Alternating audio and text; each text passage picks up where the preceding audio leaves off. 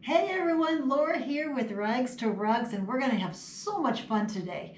We're going to be using some fabric scrap, that same scrap fabric that you have and I can't bear to get rid of because there's got to be something that you can do with it, right?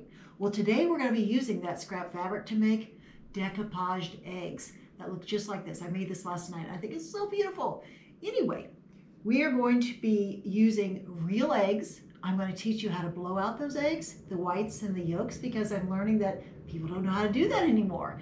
And though eggs are expensive, you can buy a dozen of them for not that many dollars. And with some scrap fabric, these make great gifts. Um, now, if you've been following our YouTube channel, you know that there are many other videos on fabric scrap art, one of which was a frame that I picked up with this beautiful print at the dollar store, or excuse me, Goodwill for $1.99, regularly $19.95. I didn't care for the frame, so I took it off and I covered it with some scrap fabric and I, it hangs in my laundry room and I love it. I think you might too. That's another video that's on there. We also to picked up a lamp this actually is a lamp from the Kid Cave, our, where our grandkids children hang out. And I took the uh, lampshade off and I covered it with fabric scraps and I think it turned out so cool and it's on their desk upstairs. There was another video that we did that you might be interested in. All these videos I'll provide links for at the bottom or you can just peruse through our YouTube channel because there's many videos on there. But my granddaughter and I made Bali beads out of batik fabrics and we actually made the beads and made bracelets and necklaces and that was a really really fun project. Now you can consider giving these beautiful eggs as gifts. Um, this is I'm going to teach you not only how to decoupage the eggs and how to blow out the eggs but I'm going to also give you a creative way to hang these eggs using a toothpick again very inexpensively. So consider using them giving them as gifts. You can put together a whole basket of them like I've got here or you might consider giving them in one small gift box to a teacher or a doctor or the mailman or whomever, lots of people, family and friends. Gather your girlfriends. This is a kid-friendly video, so gather the grandchildren if you'd like and do this with them, and it's going to be really, really, really fun. Now, displaying them is really simple. I picked up some suction cup hangers that you can include with your little gift, gift box, and they can hang this from their window and let the sun show them off. You might do something creative like my grandson and I did. We went on a nature walk and picked up a piece of driftwood. We not only hung hang the eggs, this actually hangs all the time on the chandelier right above me here in our dining room. And on it are other decoupage eggs that we've made. We also made some medallions using some uh, pony beads. And then these are some painted eggs, but these are all real eggs. But you can use uh, wooden eggs or plastic eggs for this project as well. But all we did was drill some holes in the piece of driftwood and hang the eggs uh, from it and then put a little hanger up here and it, like I said, it hangs from the light right above us here. So anyway, gather up all your fabric scrap, go through your trash can. Uh, I've got my little basket that we're gonna be using for this project and we're gonna get started right away. Okay, so you've got a few things you need to round up. The first and most important of which is your friends and neighbors or your grandchildren, your children, because this is time for a party. We're gonna make these beautiful decoupage eggs and this is something that everybody loves and will enjoy making. So in order to make these beautiful eggs, you need to round up a few things. The first of which, of course, is your fabric scraps. I've got a big basket that we're going to be using for this project. You've got yours. Go digging through your trash can because I bet you anything you've got a whole bunch of them that you can use. It doesn't really matter what type of fabric it is. Everything looks beautiful on these eggs. You're going to need some Mod Podge. Now I do use Mod Podge fabric, but any Mod Podge will work and a small amount is all we need. If you've got some Elmer's glue, some school glue, uh, just a small smidgen is all we're going to need on this. If you don't have it, the Mod Podge will work just as well for your toothpick, uh, the, the, way we're going to uh, hang the, our eggs. Mod Podge Gloss. This is a spray on. I do like this, but you you you don't need to have this. You don't need to go out and buy some. But I kind of like it because it gives a sheen to our eggs and it does give it a little bit of longevity. So it kind of protects it a little bit. You need your eggs, of course, the most important thing beyond your friends and family. Uh, I do recommend that you leave these out for two, three, maybe four hours on your countertop before you start um, blowing them out because it'll make that process a whole lot easier. You're going to need a few toothpicks. not too many, just a few cheap wooden toothpicks if you've got them. Um, and on that note, some thread that we're going to wrap around those toothpicks to help display your beautiful eggs. Um, I do uh, round up a couple pieces of uh, plates and bowls out of my kitchen this plate uh, we're going to be using just to kind of keep all those drips right here in front of me instead of dripping out, especially if you've got children that you're working with. It kind of right here in front of you kind of keeps those drips together. And a bowl that we're going to preserve those eggs, the whites and the yolks that we're going to blow out of those eggs. So yeah, well, you can make scrambled eggs later for the kids. A, a, one or two paintbrushes, doesn't matter size or, or quality or anything like that, just some cheap ones or whatever. This is the coolest thing. This is an uh, ice pick that I picked up at a vintage sale or an estate sale. It is, talk about vintage, this is very, very, very old, but I realized that it comes in, it's the perfect thing to drill holes through my eggs. And so I've been using this for years for this project. And I also use it to, for my ice. Um, you might want to round up a pair of shears uh, it doesn't really matter. I've got some little ones that we're going to be using today, but any size is fine. Just something to, to trim out and snip on your fabric. Um, something like this. Uh, this is going to help you um, blow out your eggs. This is a little tiny knitting needle. I've got a little tiny crochet hook and I've got a darning needle. If you don't have something like this, maybe just a long nail. Just something that you can put in that hole to kind of break up the yolk and the white and make it a little bit easier to blow it out. And I'll show you why that's important here in just a little bit. So anyway, on that note, let's get started with our eggs. Okay, so I've got everything laid out here, ready to do this. I hope I haven't forgot anything, and I hope this time I don't film the top of my head like I did the last time filming this all by myself. One thing I forgot to share with you, you might want to gather up a, a wet rag um, for adults and for children. Sometimes it's, it's nice to be able to just wipe your fingers off when you're working with the Mod Podge. Um, I also want to share with you a few other eggs that I did last night in preparation for this, but also for Easter, because I want to give these as gifts. So these are some other color combinations. This is the one I shared with you earlier, but a few others. Anything goes. I think this one's got a kind of a masculine look to it, so it might be good for dad or grandpa or whatever, but they're all so, so beautiful. So I'm going to set those aside. And the first thing we're going to do is we're going to blow out our egg. And this is something, again, that's so unfamiliar to so many people. They're like, what? I've never heard of this before. But the first thing I'm going to do is use my trusty little vintage ice pick. Um, and I'm going to, I kind of already did a starter hole just real quick here, but I'm going to insert my uh, ice pick right into that hole. Otherwise, all you're going to do is just kind of use this and drill into that very gently. And hopefully you can see this. I went ahead and kind of just got a little teeny tiny starter hole. And all I'm going to do is I'm going to kind of back and forth and back and forth until I can get that ice pick all the way through that egg. Do it kind of gently because we don't want to obviously crack the egg, but if there are a few small minor cracks, that's okay. No big deal at all. We're going to be covering it with fabric anyway. So looks like it's going in pretty easily. These have been left out on the counter for a few hours now, and the longer they're left out, the easier it is to do this. Okay. Ooh, it's already coming out. Okay, I'm to put it over my bowl here, and now I'm going to do the other side. And again, I kind of did a little starter hole just, just for the sake of the video. But all I'm going to do now is go back and forth, applying just a little pressure. My ice pick just works so beautifully for this. I can't count how many hundreds of eggs I've done this with by myself and projects with the grandchildren. Oh, that one's really cracking, but that's okay. Don't let that bother you at all, okay? And in fact, sometimes that's for the best. Okay, we've definitely penetrated it. I even go, and if you're going to preserve the eggs, don't forget to sanitize your ice pick because if depending on where it's been, you want to make sure those eggs. All right, now this is where I'm going to set that aside. This is where either the knitting needle, the crochet hook, or the darning needle will come into come in handy. What I like to do is just insert that and kind of spool it around, kind of break up the yolk and the whites. This is going to be kind of comedy hour for some of you because I'm literally going to put my mouth on this and hopefully without showing the whole top of my head with my roots that need to be probably dyed right now. But I'm going to lean into this and I'm going to put my lips right on this and I'm going to blow and all that's going to come out into my bowl and you can make scrambled eggs out of it. So here we go. You ready?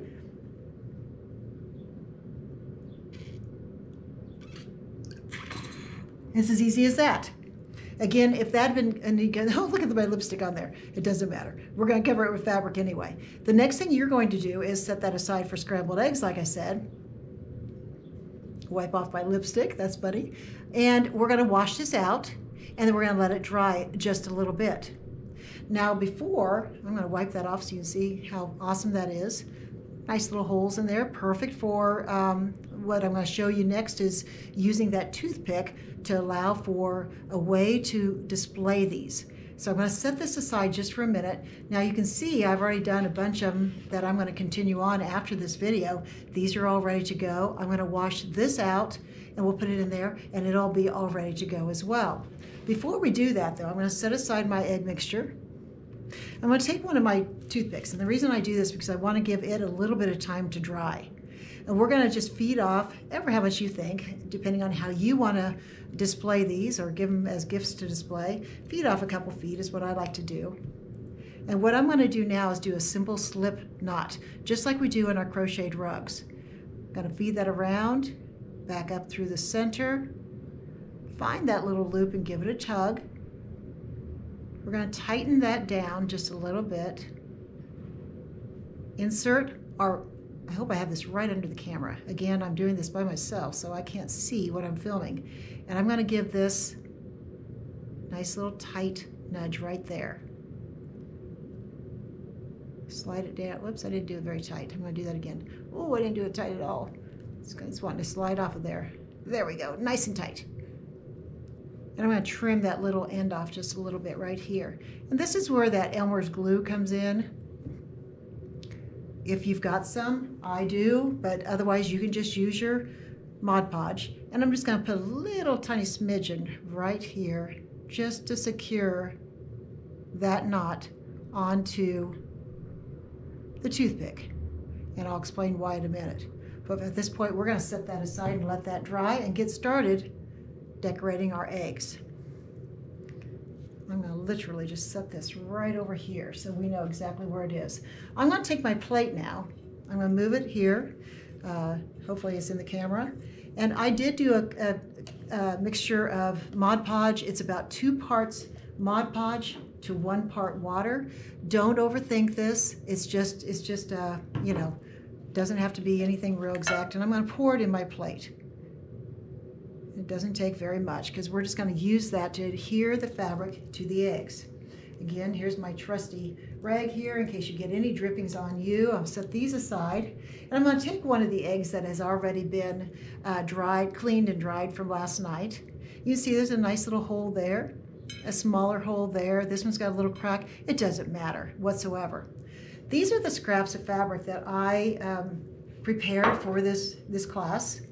As you can see, just beautiful. I did, again, choose batiks. I love batiks. They're so beautiful to work with and the fact that they, uh, such vibrant colors, but also the front and the back are the same. We do have all these batiks that you see here on fabric rolls and in loose bundles uh, that you can purchase from us. We also have small little bundles of scrap batik that you can purchase from us too for the, the Bali beads that I showed you earlier or for whatever projects you may be working on, your lampshade or your frames or whatever. These are ones that I kind of prepared for today's demonstration. And the first thing I'm going to do now is take one of those um, uh, paintbrushes. And again, they don't have to be anything fancy, just use kids' brushes and whatever. And I'm going to use that now to um, just put a little bit of Mod Podge straight up. Now this is not the, the ones that I've mixed with water. This is just straight up Mod Podge. And I'm just going to put a th very thin coat on this. To put a little bit of water on that because that is really thick again, this is what why this is such a great project for kids because this is not something that you have to put a whole lot of thought in. There's no right or wrong. Everything looks beautiful when you're done with it. I'm to set that there for safekeeping. No, I'm not because it's going to roll off. Okay, we'll put it there. And I'm just going to select randomly um, a few of the, the batiks and I'm going to lay it across here. I try, to be honest with you, I try not to get too much on my fingers because otherwise I'm constantly wiping my fingers off. And I'm going to use my brush just to brush some of this on it. There's that hole, and you can see I'm kind of to the right of it, but don't feel like you have to um, hide that hole um, it'll be just fine. And simple as that. I'm going to pick another one now, and I'm going to lay it right beside it. If you, sometimes I drag it in this first, and it helps it to kind of adhere a little bit better. I'm going to lay it right on top of this one and move it over just a little bit. Again, take my little brush and brush some Mod Podge on it. It sometimes will slide, and if it's not where you want it to be, that's okay. You can always slide it back. Let's pick another one. How about, uh, uh, uh, I've already got that one and that one. What about a purple? I think that'd be pretty. I think kids especially really like the, ooh, I'd really dip that one. Gonna lay that right next door to it. Use my brush to add some Mod Podge, sometimes readjust it. That little corner wants to pop up, so it's a good time to kind of smooth that out. Move that over a little bit. Ooh, this is going to be pretty. Uh, let's see, what about a yellow? That'll brighten this up and look real Easterly. I like that. See what I mean? Sometimes your fingers get kind of sticky. And so it's nice to have a little cloth. I'm going to move over here so it's a little handier for me to kind of wipe my fingers on it. Take my brush, smooth it out, add some Mod Podge to it that's been kind of diluted with water. I'm going to move that just a little bit right there. Oh, this is going to be so pretty. I like these colors. I think I'm going to stick with those colors. I'm going to go back to that, the darker one here. I try not to move my fingers around too much on the egg.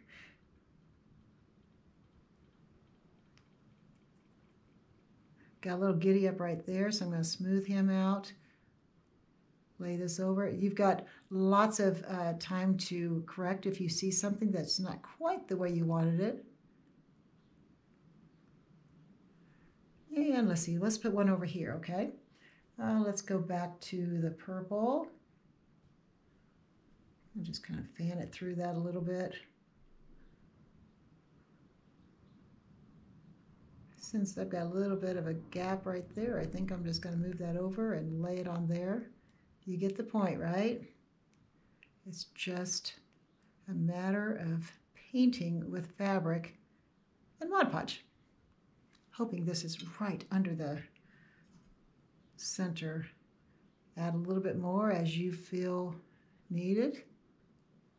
Now, sometimes what I will do is set this aside to dry on this section and I'll start another one so that when I'm holding it, my fingers don't have a tendency to stick to the fabric that hasn't yet dried. But it will, you know, I generally will allow it to, to dry for 30 minutes or so. Let's see, what do we need? We need, how about a yellow? Again, I've got these already pre-cut, so that makes it a whole lot easier. You might consider doing the same thing.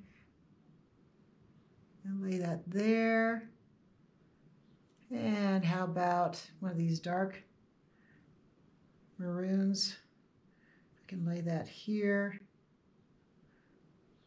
Now you might get interrupted with a phone call or a child that needs you. This is one of those things you can set it aside. I keep the actual uh, egg carton here and I'll just set that in there to allow it to dry, go tend to whatever business Maybe there's homework. Maybe this maybe it's bath time. Maybe the kids just want to take a break from doing their egg project. Come back to it tomorrow. This is not something that has any uh, time element whatsoever.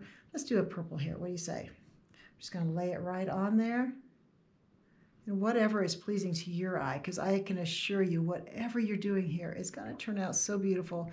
You're going to be amazed because it looks pretty right here, as you can see. It looks prettier when it's all dry and and uh, you can really admire your work. Again, what a wonderful way to use little teeny tiny scraps of fabric. I think I'm going to put one right across here. I think that'd be kind of cool looking. Don't feel like you have to do all the same sizes either. They could be literally little teeny tiny pieces of fabric, little triangles or squares or whatever. It doesn't matter how small. In fact, there's a place for everything, even on this one. I could, I could incorporate some other colors right now.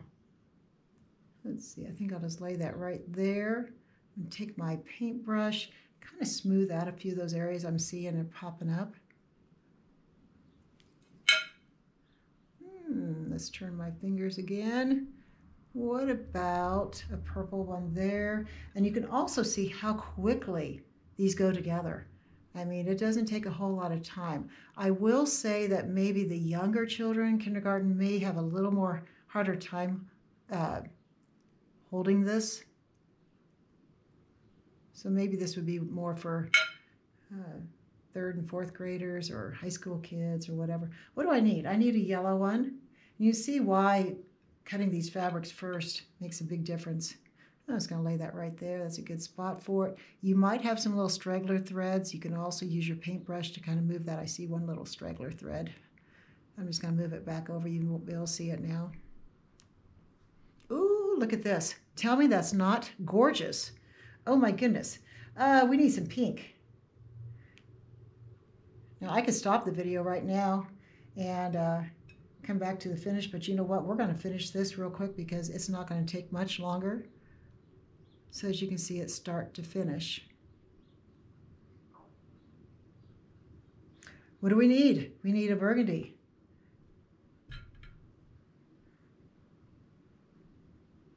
Let's uh, move this a little bit. If your fingers get a little sticky, just wipe them off on your rag real fast. No biggie.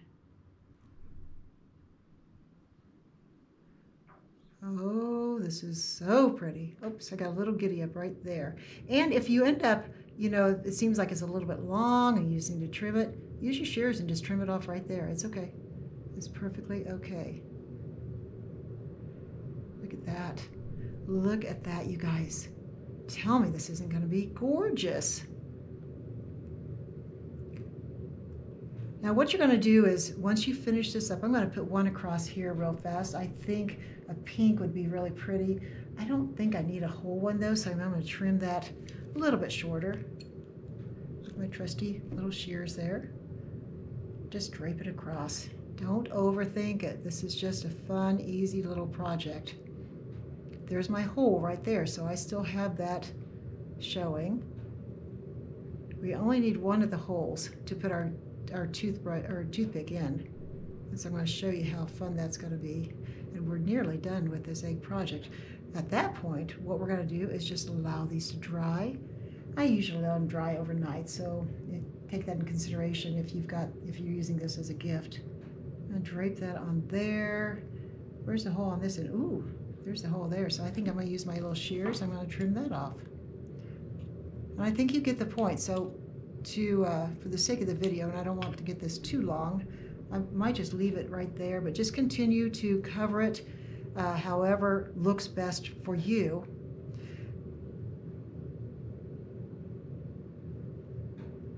Sometimes I take my rag and I just dab at those excess areas too, kind of give it a look-see and make sure there's not any that might need to be um,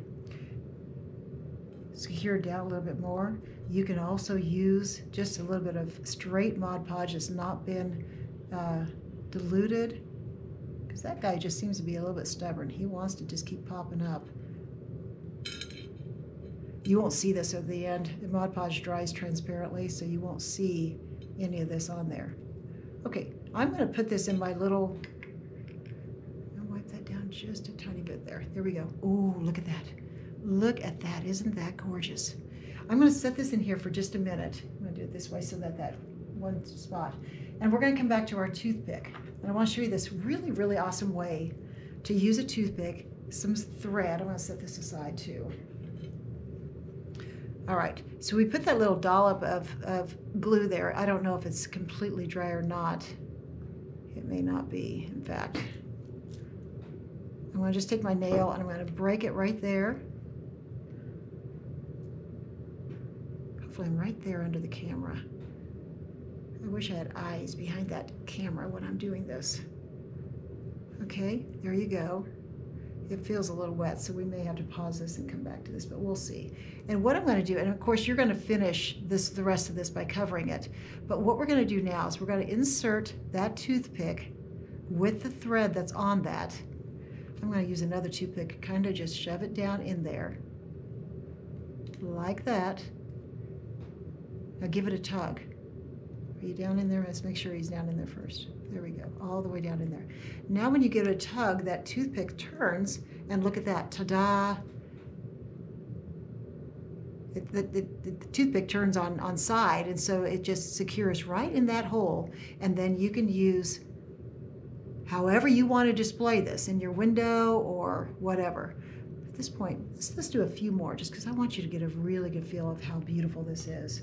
How about a couple short burgundies across the top here? kind of see. And we'll do another one over here. Fast, fun, easy, gorgeous. Gifts that last and last and last and are so appreciated. The kids and I are going to box these up. My mother's going to get a gift her retirement community, and I, I can just almost hear her share this with everybody. It's like, look what the kids made for me. Oops, where's my brush? Here it is, over here. Mm. A little bit more on there. Let's make sure that's all flat the way we want it. You get the point, right? Okay, so look at that. Tell me that's not, not if I'd put it under the camera anyway, not gorgeous. So anyway, there you have it a wonderful gift. You're going to finish up those little white areas there with a little bit more fabric. You're going to pick and choose. I can just imagine my kids anyway going for the turquoise and the blues and the purples, of course, if they're girls, and the pinks and whatever. But you can see what tiny, tiny bit of fabric that we used for this one beautiful egg. Allow it to dry overnight. And like I said, you might consider um, using some Mod Podge gloss to give it a, a clear, acrylic seal. It's, it says right on there. It doesn't take very much and allow that to dry then. And then wrap this up, give it as a beautiful gift to someone very special and dear to you. And know, trust that they're going to love this gift. I'm going to cut this and do one more because I see one little spot there that I think just is needing. Ah, if I could hold it and cut at the same time, I'm to put one right here just so we can kind of finish this up a little bit. Here we go. Put it over here so you can see it. Selfishly, I had it right under where I could see it. A little bit of Mod Podge. And you can see also how much little, what little bit of Mod Podge we use too. Eggs that are expensive, like I said right now, but hey, you know what? It didn't, doesn't take much to make that. Oh, look at that. Oh my goodness, oh my goodness. You'll finish that up in the, while it's drying, slip it back into the egg carton, wipe your fingers off, and start in on the next one because as you can see we've blown out a whole bunch of these eggs all ready for your party whoever wants to come to your party and help you make these beautiful eggs um, what fun what fun what memories um, again, check out the other videos on fabric art on our YouTube channel. Uh, I hope I didn't breeze through this too fast. Uh, if you have any questions, obviously, I do a very good job of responding to uh, comments on, the, on each of our videos. I try to check those every single day and answer any questions you may have. Uh, but in the meantime, um, please stay involved. Please check out the rest of our videos. Please subscribe if you would. It means a lot to us. And if you have any suggestions, or questions, that's a great place to put them too. And in the meantime, as always, make it a great day. Thanks for watching.